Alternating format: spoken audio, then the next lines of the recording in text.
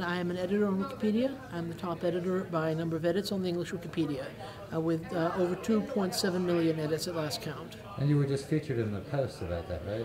Washington Post, uh, I've been in Time Magazine, I'm about to be on CBS News, uh, CBS Saturday Morning.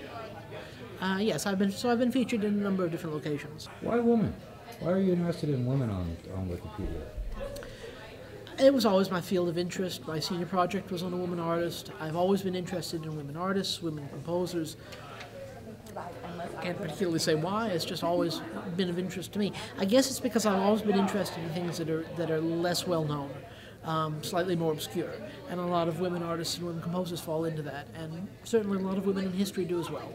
Uh, uh, Is your sense that women are grossly underrepresented on uh, uh, Wikipedia? Oh, absolutely. Um, I don't remember the exact figure, uh, but on the English Wikipedia right now, um, not even 18% of the biographical articles are about women, and that's that's a lot better than it was two or three years ago. It was about 14% when Wiki Project Women in Red was founded.